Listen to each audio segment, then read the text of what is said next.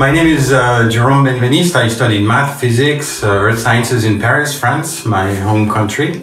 And um, I did a PhD specialized in oceanography from space in Toulouse. Most of the instruments we use in remote sensing are common to space exploration and Earth observation, and this is not surprising. What is remote sensing? It's just like, um, say, you want to know if the fire is hot, you don't need to touch it, you just uh, put your hand in front, and uh, without touching the fire, you feel it's hot. That's remote sensing. If you shine light uh, on an object, your eyes receive the reflection of the light and you see the shape and the color of the object. That's remote sensing. The sense of touch is much different. You need to touch to feel what you touch, so that's not remote sensing. Using the analogy of the uh, ears and the eyes, we develop instruments that uh, we use both for outer space and Earth remote sensing. And it's based on the electromagnetic radiation, either in the microwave band, like uh, the cell phone frequencies or the microwave oven, or in the visible band, or infrared or ultraviolet. And this is why, if you learn everything about remote sensing, you can study the Earth, the solar system, the galaxies, uh, the universe, and even beyond. Earth observation satellites go around the world in one hour and 20 minutes, so it's much faster than an oceanographic ship.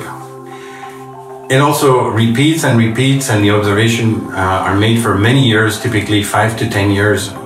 So you can imagine how fast we can we can um, acquire knowledge uh, about the ocean, such as sea level, uh, wind, waves, uh, currents, temperature, salinity, uh, thanks to gravity, and also the presence of algae and plankton. The ocean is vast and deep, and um, by snorkeling or scuba diving, you, you, you, can take a look at the first 10 to 15 meters. But the ocean is uh, 11,000 meters deep, so it's 1,000 times more.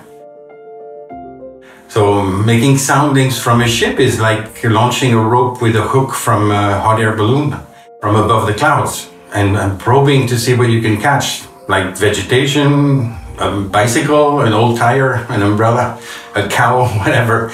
But from that, it's really hard to recompose what is exactly at the surface of the Earth. Well, it's the same for the ocean. And if you dive deep, like 500 meters, uh, because of the pressure of the water column, you will need to decompress and on your way back.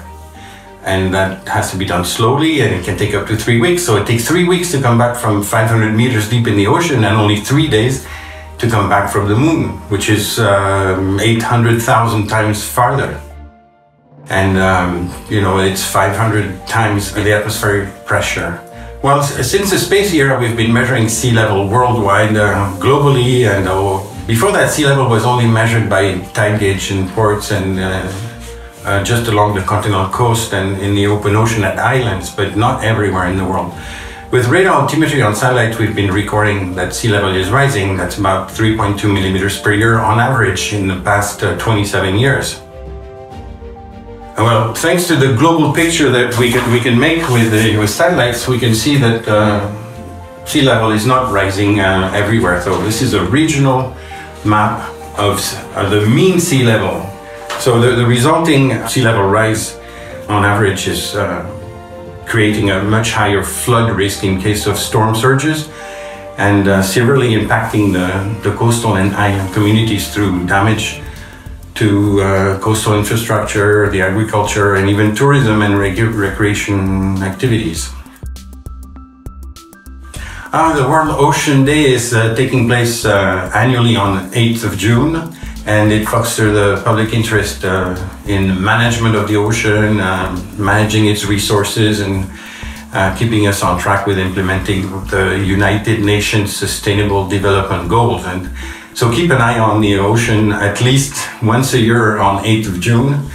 And of course, uh, every day, because, you know, the ocean is uh, supporting life on Earth. Once we have mastered the measurement of sea level in the open ocean with radar altimetry, we've put the limit to um, measure the um, the uh, sea level near the coast, which is more difficult, and in the estuaries, then in the deltas, and we went up in the rivers and, and lakes. Uh, so river discharge is uh, really uh, an important, what we call essential um, water cycle variable to understand the effects of global change.